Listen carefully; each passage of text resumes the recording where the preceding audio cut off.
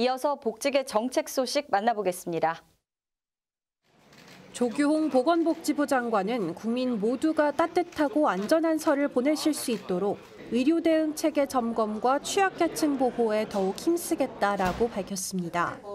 이와 같이 정부는 더욱 안전한 의료 대응 체계를 위해 다가오는 연휴 기간 문을 여는 의료기관과 약국을 보건복지부 홈페이지 등에 확인할 수 있도록 할 예정입니다. 또한 의료기관에 직접 방문이 어려운 환자들을 위한 비대면 진료도 받을 수 있습니다. 취약계층을 위한 보호 조치도 이뤄집니다.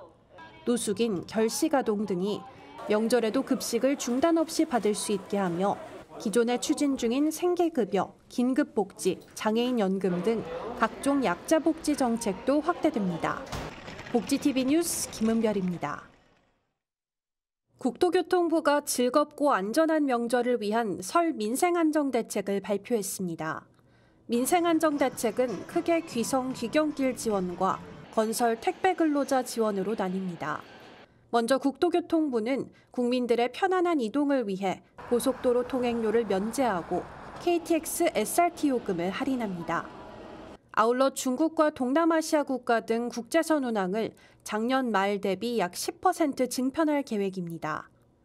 정부는 건설 택배업계도 따뜻한 명절을 보낼 수 있도록 지원합니다.